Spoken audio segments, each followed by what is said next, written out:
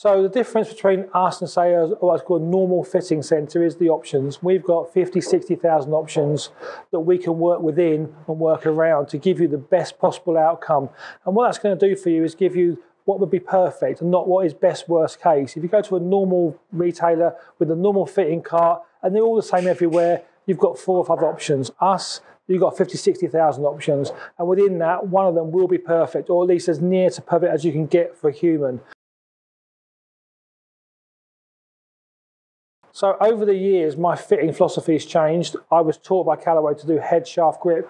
I now totally do shaft, head and grip. Sometimes I work as a parallel if someone's coming in with a specific idea in mind, they want a certain brand, but generically I'll go shaft, head and grip. The reason for that is the success rate of that is much, much higher than just trying to jimmy somebody in into a head shaft grip combination. Remember, the most important thing is how much performance you're going to get out of the clubs. So we, my personal preference is I don't actually tell people what things cost. We'll just do the process, run the numbers, and at the end, we'll tell them this is what it's going to be. Now, I know if they've got a budget, I will steer them in a certain direction, and I won't be rude or disrespectful and say, oh, don't worry about that, that's fine. We will steer them into the best scenario we can get into.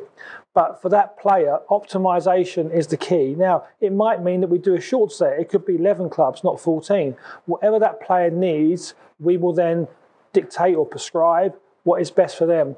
But yes, you will pay a bit more for the service and you will probably pay a bit more for the shafts. But fundamentally, we won't see for two or three years. So therefore, that rotational player that used to buy a driver every six months or a set of irons every year, they've gone. That's that ship has sailed, in my opinion. This this modern era of fitting, we are seeing people every two or three years